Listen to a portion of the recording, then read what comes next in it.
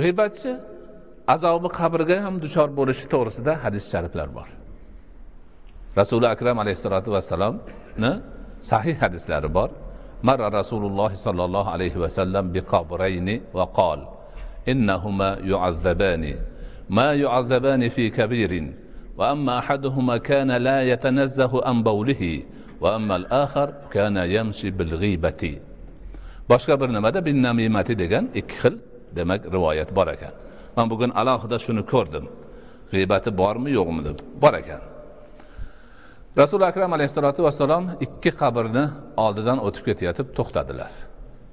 To'xtatib turib sahobalarga aytdilarki mana shu ikkovi qabrdagilar azoblanyapti hozir dedilar.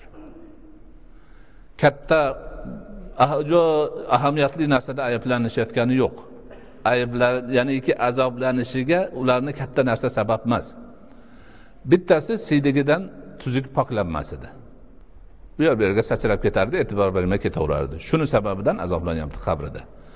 Ikkinchisi g'iybat qilar edi odamlarni. Shuning uchun azoblanyapti. Ana g'iybat bu dunyoda sharmandachilik egasiga keltirsa qabrda azob keltirar ekan. Qabrda azobi bilan qutulib qolmas ekan oxiratga ham o'tar ekan. Rasuli akram alayhissalotu vassalom marhamat qilib aytadilarki man isro qildirilgan kechamda merojga chiqqan kechamda ko'rsam bir odamlar jahannamda. Misdan bo'lgan tirnoqlari bilan o'zlarini yuzlariyu ko'kslarini tirnashyapti. Tinmay shu ishni qilishib turibdi. Shunda so'radim ey jibril bular kimlar? dedim.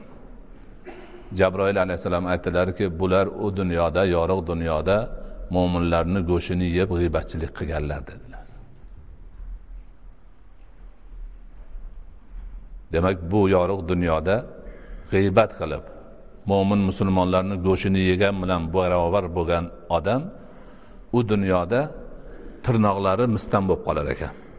O'tkir o'tkir tirnoqlar bo'lib qolar ekanda o'zini o'zi yuzini va ko'ksini tilib yumdalab mana shunaqa tortib turar ekan. Butun abadiylikka bo'ladi endi bu.